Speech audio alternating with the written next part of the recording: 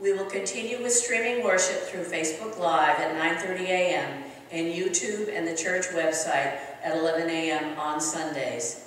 If you have any questions, please contact the church office. Your tithes and offerings can be, still be mailed to the church dropped off at the office, paid through your bank or by credit card at the church office. The upper room devotionals have come in and you can pick them up at the office or if it needs to be mailed, please call the office and let them know. Operation Hope Perishable Food and Ziploc Bag Drive. Please help us support Operation Hope who is currently feeding 150 to 180 families per week and turning away others during these difficult economic times. We are seeking donations of non-perishable goods, one-gallon size Ziploc bags and or grocery store plastic bags to be collected at the church through June 28th. A box is outside the church office. We are also accepting monetary donations for Operation Hope. Thank you. And right now I'd like uh, Pastor Scott to come up and I have a presentation to make. I'm always surprising him. This is for Mr. Kyle Worth, Pastor Scott's son on Father's Day. This is for him. He has graduated from the University of South Florida and hasn't been able to make it home through all of this. So this is something from the congregation of Presbyterian Church of the Good Shepherd for Kyle for his graduation. Wonderful. I will get it to him and, and he will say thank you, I'm sure. and now we would like to present the youth with a special video and also another special video in tribute to Father's Day.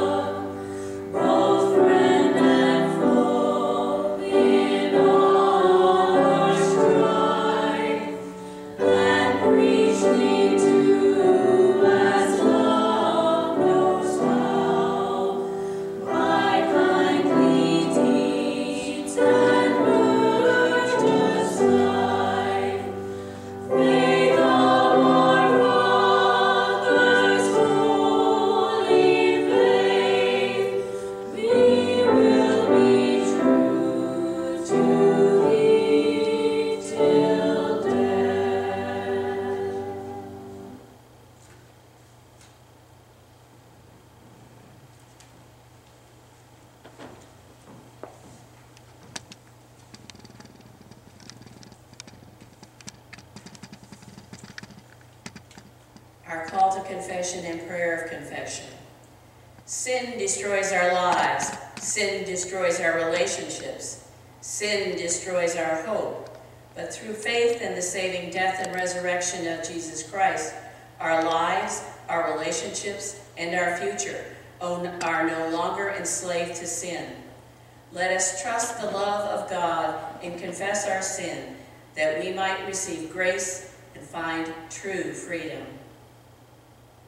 God of Abraham, Sarah, and Isaac, God of Hagar and Ishmael, who gave us your Son, Jesus Christ the crucified, send your Holy Spirit to help us confess and truly repent of our sins. We turn against one another. We fail to care for the weak and poor among us. We pay no heed to the cries of the powerless. We seek our own advantage. Your Son emptied himself upon a Roman cross and revealed your eternal, self-giving love. Forgive us, merciful God. Wipe sin from our lives and let us find ourselves holy in Jesus Christ our Savior. It is in his name that we pray. Amen. God who loves us does not abandon or forsake us. Our Savior hears and answers.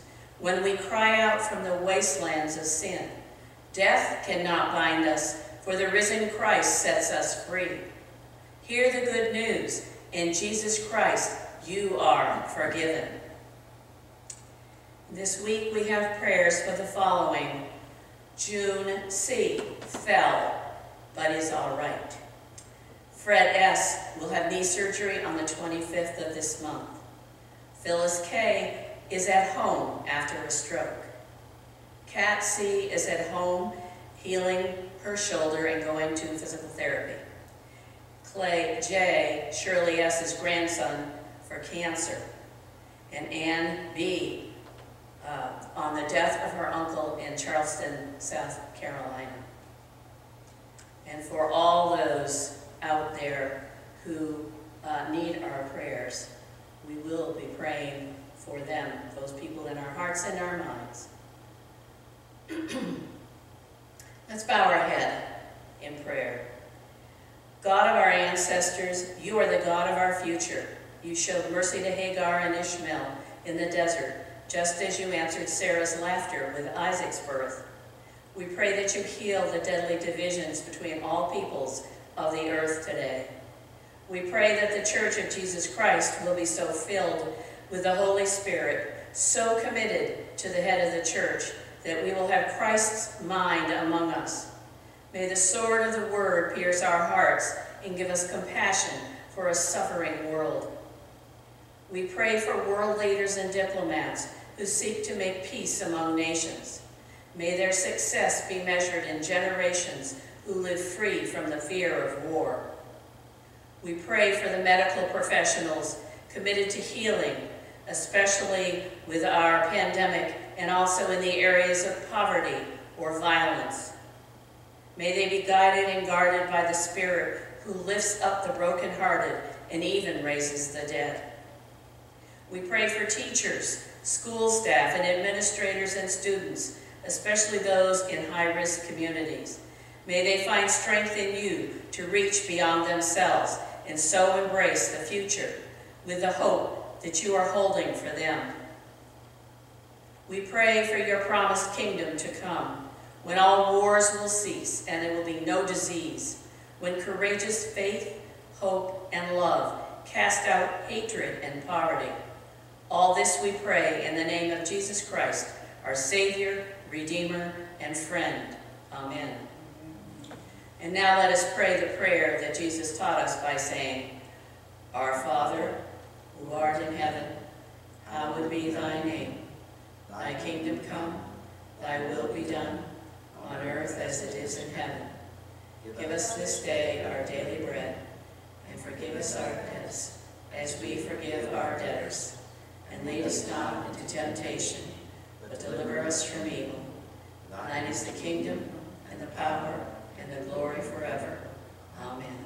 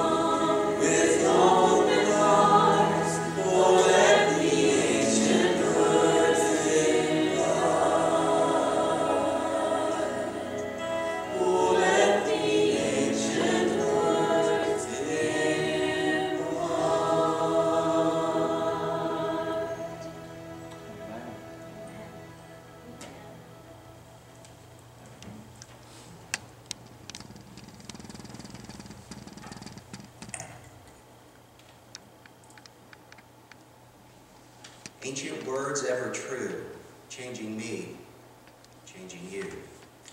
Let's keep that in our minds and our hearts as we hear God's word today. Matthew chapter 10, verses 24 through 39. Hear the word of the Lord. A disciple is not above the teacher, nor a slave above the master. It is enough for the disciple to be like the teacher, and the slave like the master. If they have called the master of the house Beelzebul, how much more will they malign those of his household? So have no fear of them. For nothing is covered up that will not be uncovered, and nothing secret that will not become known. What I say to you in the dark, tell in the light, and what you hear whispered, proclaim from the housetops. Do not fear those who kill the body, but cannot kill the soul. Rather fear him who can destroy both soul and body in hell. Are not two sparrows sold for a penny? Yet not one of them will fall to the ground apart from your Father. And even the hairs of your head are all counted. So do not be afraid. You are of more value than many sparrows. Everyone, therefore, who acknowledges me before others, I also will acknowledge before my Father in heaven. But whoever denies me before others, I also will deny before my Father in heaven. Do not think that I have come to bring peace to the earth. I have not come to bring peace, but a sword. For I have come to set man against his father, and a daughter against her mother, and a daughter-in-law against her mother-in-law. One's foes will be members of one's own household. Whoever loves father or mother more than me is not worthy of me. And whoever loves son or daughter more than me is not worthy of me. And whoever does not take up the cross and follow me is not worthy of me. Those who find their life will lose it, and those who lose their life for my sake will find it. This is the word of the Lord. Thanks be Thanks to be to God. God. I remember being a young boy and sitting in my bedroom. It was time for bedtime. I was not necessarily ready for such things. I was playing with some toy, uh, examining it closely, when I noticed some movement near my doorway. I looked up and there was a monster, or so my young mind thought. My sister had donned a head covering and wrapped a sheet around her body, all while making some strange noises. There was no consideration from me that this was my sister. My little mind was convinced this was a monster. I was in grave danger. I screamed. Or rather, I tried to scream. I couldn't. I was frozen in fear. Fortunately, my sister realized her ruse had gone rather further than she imagined, and she took off her head covering, and I relaxed and regained my voice. Have you ever been frozen in fear? Have you ever had a, a visceral moment where you could do nothing except to sit or stand there in fear? Today we talk about fear. Not particularly the very moment of shock, as in my story, but the more generalized kind. Where you're not shocked into being a statue, but fear, where you similarly may lose your ability or your resolve to act in some way. At moments of shock, it is easy to see that fear can freeze us stiff or silence our voice. Despite the obvious need to take flight or to scream or to fight. And it is also true that fear in general, not just times of shock, can also restrict our actions, keep us in the same place. Just cause us to just not do what we should do. You see, fear has a way of keeping us in place. Fear can prevent us from taking steps forward as a person and as a people. Fear often eclipses possibility and hope. Fear, you see, is an enemy of living free. And so Jesus takes this opportunity to take up this topic of fear with his disciples. Fear is, is there a more predominant force in our human experience than fear? From the moment we are born, we learn to fear the world around us. Certainly to fear the stranger. To protect them, we teach our young ones catchy phrases like stranger danger. Generally, we develop fear of the unknown, be it people or even new discoveries, or even new ways of doing things. We have a response of fear often. Fear is a powerful force. As you know, political leaders have taken note of this powerful force. Politicians running for office, or at least their campaign managers, have long recognized the power of fear. They often use fear in enlisting our conformity to the structures of this world, even when doing so doesn't serve our best interest. And by remember the Patriot Act of 2001. Fear is the driving force behind vast segments of our economy, as well as, increasingly, our political priorities. Take, for example, gun legislation. Fear seems to dictate our actions on either side of the political spectrum. When a presidential candidate comes uh, on, the, on the scene and threatens to halt or reduce certain arms sales, which is based on the fear of what, say, assault rifles can do in neighborhoods, it sets forth a fear response which you can almost set your watch to. As that political concern is expressed, It is that very moment when sales of those particular guns go through the roof. And for years, that's always really bugged me, but I understand it. But it still bugs me. Once again, fear is lived into. The public thinks that those particular guns will no longer be available, so they need to buy it now. Fear begets fear. So much so that even people who probably would never have bought one of these weapons now does so because they fear they will lose the ability to acquire such a weapon sometime in the near future. The result of this fear dance.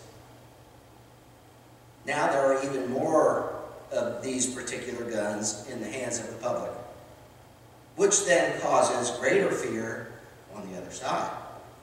And increasing occasions for legislative restrictions, which then drive more widespread buying, and so on, and so on, and so on. Fear-based decision-making can serve to heighten, not diffuse, existing public concerns. Now, what I want you to hear in this example is that whether you are pro-gun or anti-gun, the sad thing is, it is fear that seems to be driving much of the decision-making. Fear, if we are honest, often does drive us. Fear can lead us by the nose. And Jesus recognizes that it is fear that can cause the complete failure of discipleship. Now, the disciples started out strong. Jesus' disciples courageously leave the security of their homes and their families, despite the fear that that may have caused to do such a thing, to follow him as Jesus proclaimed the advent of God's reign. But these disciples, too, will soon know and feel the grip and the power of fear. In fact, these very disciples, in the immediate future, will indeed collapse in fear's wake. You see, faithful proclamation and the practice of the gospel inevitably puts disciples on a collision course with the powers of this world. And well, quite honestly, that is scary. That can cause fear. And what we are addressing today is that fear based secrets and the threat of conflict, even the threat of death, can take up residence in a disciple and derail our ability to live the gospel. Let's spend some time this morning looking at fear based secrets. How fear can promote an environment of secret keeping, which evidently is contrary to the way Jesus calls us to live. Fear. Jesus said, Have no fear of them, for nothing is covered up that will not be uncovered, and nothing secret that will not become known. The simple long term view is this truth is going to see the light of day. Don't let hiding the truth, don't let secrets enslave you. Don't hide the truth by means of secret keeping. Don't do it individually, don't do it corporately. You may say, Pastor, I understand when, when you say hiding the truth individually. I get that. But what is hiding the truth corporately? Well, thank you for asking. Let me give an unbelievable example in our nation's history. In Tulsa, Oklahoma, in a district called Greenwood, in the year 1921, a shocking, racially motivated thing happened.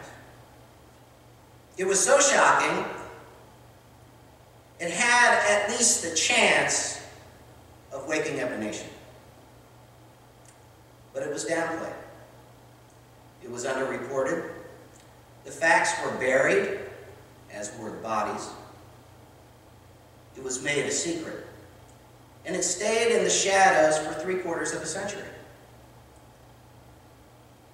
Last year, quite incidentally or providentially, I watched a series that had been re released for streaming entitled The Watchmen. The 10-part series came out in 2019. And by the way, I'm not necessarily recommending that you go watch this series.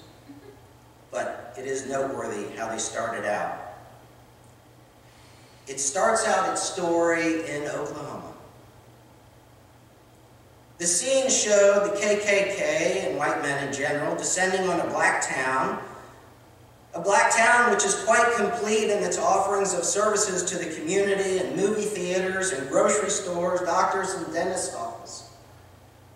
The scene showed white against black, looting and burning and destroying and killing in earnest. I watched that opening scene and I thought to myself, well, that is curious. This show is completely science fiction. You know, it's kind of based on comic books.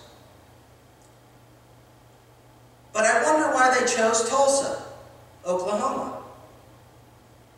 Fast forward a few months and I hear another reference to Tulsa, Oklahoma. And I remembered that opening scene and it occurred to me that there may be something to it. A few clicks of the mouse and it turns out there is. Tulsa, Oklahoma was home to the worst racially motivated mob violence in the early 20th century. But I had never heard about it.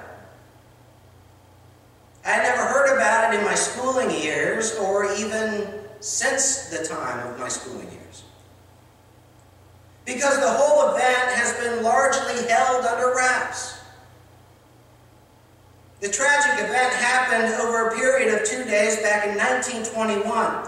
In the northern part of Tulsa, this was a time of segregation, there uh, once was a prosperous black district called Greenwood. So prosperous was this black community that one writer dubbed it Black Wall Street. Now, Tulsa in general had experienced great growth and prosperity due to the oil fields that were discovered there during the oil boom. And at one point, Tulsa was the largest oil producer in the country. One day, in the white part of town, a young black man entered an elevator with a young white woman as the elevator operator. She screamed somewhere in that elevator ride. He fled that elevator and then later that day was arrested. The rumors started flying around. The local paper wrote an inflammatory article, and by the next day, a mob started gathering outside of the government building where they held this boy in question. But word about the lynch mob forming got back to the folks in Greenwood, and black men also assembled to defend one of their own. Some of these gathered were World War I veterans. An assembly there was gathered, and these men went down also to the government building to offer assistance to the sheriff to protect the young prisoner. Well, the sheriff declined their help. But the sheriff was also successful in holding back those who would hurt the young man. Unfortunately, the fervor of the white crowd now directed itself at the adult men who came on the scene. One KKK man confronted one black man trying to take his gun away. The gun went off, and so did the crowd. The KKK influenced crowd started moving toward Greenwood, growing in size every step of the way, growing in anger yard by yard, growing in resolve by each other's passion. The white mob went into Greenwood and they started breaking into stores, started breaking into houses, started smashing things, setting fires, started killing innocent people. Inexplicably, over the next 24 hours, planes were even brought in to drop firebombs from the sky to widen the destruction in this black community. Friends, in all, 35 square blocks were destroyed of houses, of businesses. 35 square blocks. That's huge. Eight to 10,000 people lost their homes. An estimated 300 people were killed. It was the worst mob uprising ever seen. They called it a race riot, but it was more like genocide. It was more like how Hitler and the Nazis treated the Jews. And I had never heard about it in my history class. You probably had never heard about it either in your history class because somehow, some way, it became a secret. A corporate secret of a city, of a state, of a nation. The truth was not allowed to come out. Then 60 Minutes did a piece on it in 1999, 78 years later. In that segment, they held a large meeting with people who were living in Greenwood that day. One young man stood up and recounted going away to college and hearing for the first time the story of Black Wall Street and what happened there. This young man said, I have lived in Greenwood my whole life and I never heard of it. Can you imagine keeping such an atrocity a secret? The story of Greenwood in 1921 needed to be confronted in that very day and time. The country needed to know. People needed to be confronted with difficult truth. The story needed to be told, not whispered and quiet, but screamed in loud voices from housetops. It needed to come out, but those in power suppressed it. Those who killed black citizens also killed the story.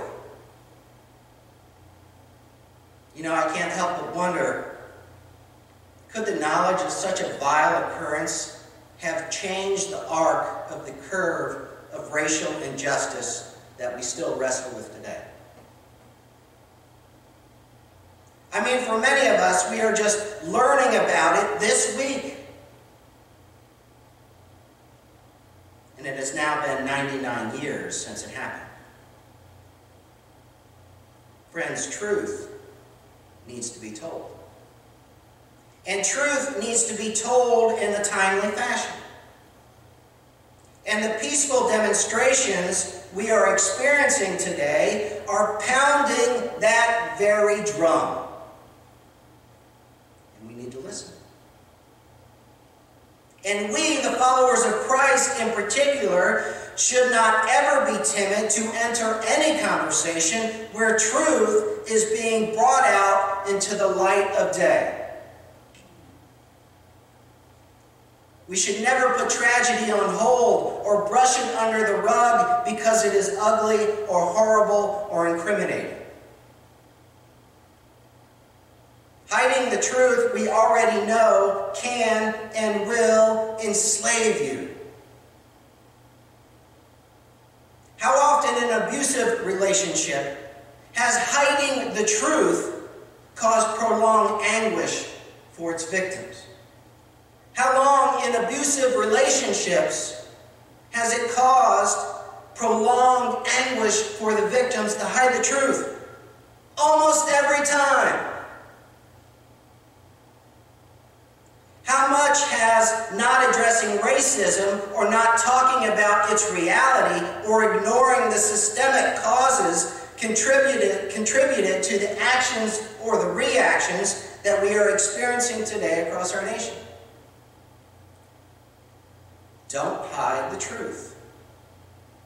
Don't buy into secrets.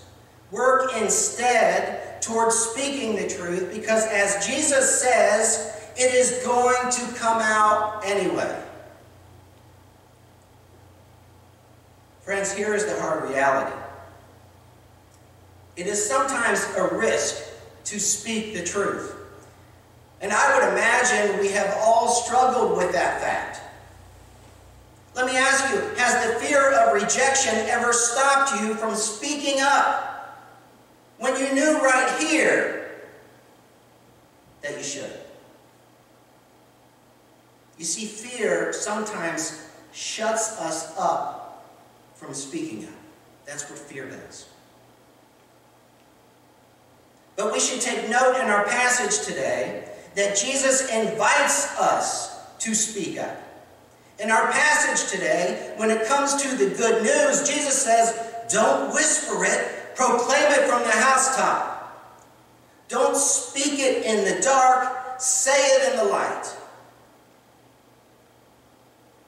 Jesus' mission discourse is a Get Out the Truth Tellers campaign, like no other.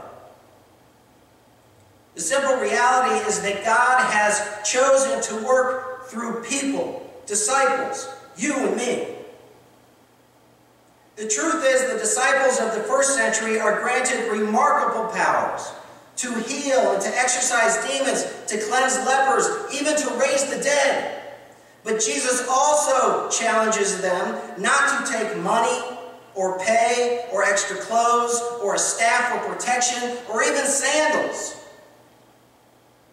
And it probably caused some of them fear to go out into the world like that, seemingly helpless. But Jesus wanted for all to understand that it should be no secret that God's provision, what God will provide, is sufficient. Is sufficient. That, you see, is the truth. Hence, hence, there is no reason to fear.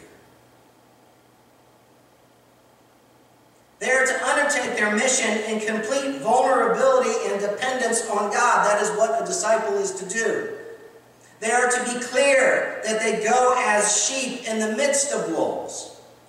They will face arrests and beatings, opposition even from family members, our passage tells us, hatred and persecution. It is hard to stand up sometimes, but standing up is something the people of God are called to do. And I think standing up for others makes God smile. It reminds the Father of his one and only Son. Don't let fear coax you into keeping secrets. You are not called the keepers of secrets. You are called to be the speaker and the liver of truth. Our country will not get better from racial tensions by pushing difficult truths under the rug or by just going along or by putting fingers in your ears because we don't really want to hear or to be impacted or to invest ourselves.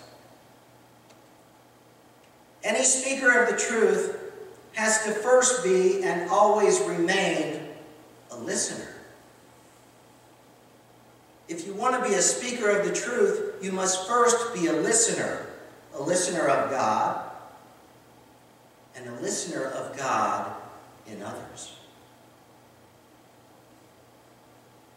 Don't let fear entice you to perpetuate secrets. Don't be frozen in fear.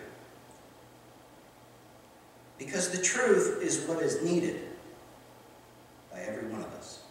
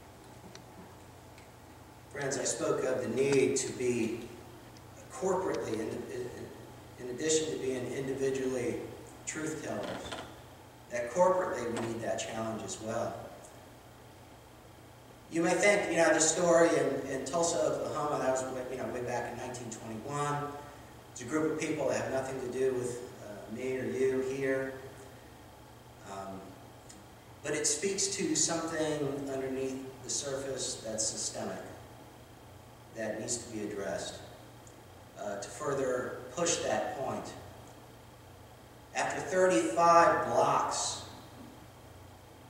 of homes and buildings were incinerated, and these black owners of homes and businesses filed their insurance papers, not one insurance claim was honored. Because the system said, we're just pushing this away. It didn't really happen. Friends, we are called to be truth tellers. We are called to be truth listeners. Go from this place and know that the God of truth is with you this week. Amen. Amen.